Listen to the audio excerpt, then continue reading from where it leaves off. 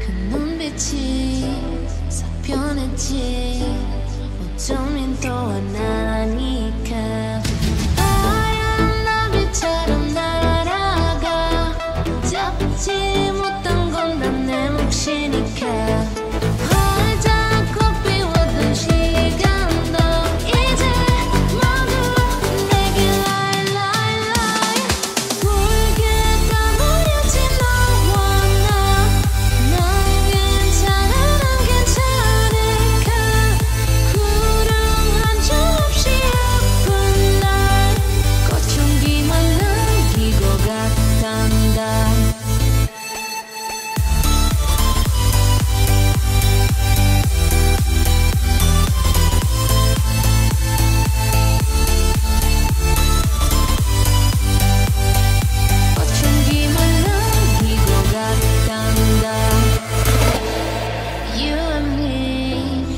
미친 듯이 들어오지만